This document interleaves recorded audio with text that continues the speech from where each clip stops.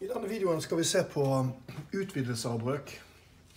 Og da har vi har jeg et ark her. Der har jeg fargelagt eh, halve. Og brøken nå vil jo bli en todel. En av to deler. Skal jeg gjøre nå, skal jeg brette den. Enda en gang. Nå ser jeg at så får jeg brettekanter her. Eh, det er fremdeles halve arket som er farget rødt, men nå ser jeg at det er to av fire biter. Nå er arket delt inn i fire, og to av de er farget rød. Eh, nå har jeg utvidet den brøken.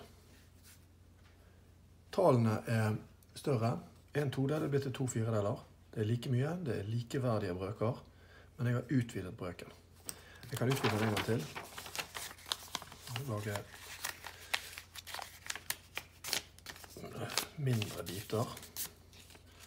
Så deler den opp i flere deler. Utvide antall delene. Deler.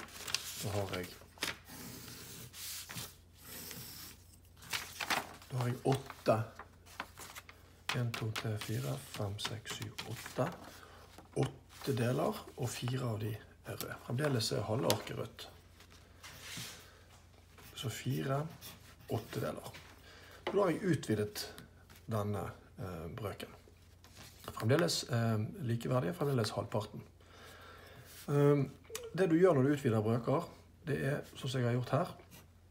Jeg finner et tall så jeg kan gange begge eh, tallene med. Både teller og nevner.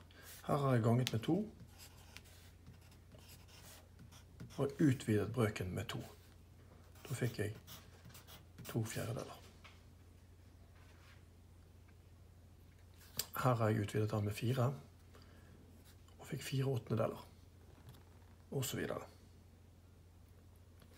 Um, dette er viktig når du jobber med brøk mange situasjoner eh, og regnestykker i brøk der du trenger å kunne utvide en brøk. Så det her må du eh, få med deg dette må du øve litt på. Lykke til.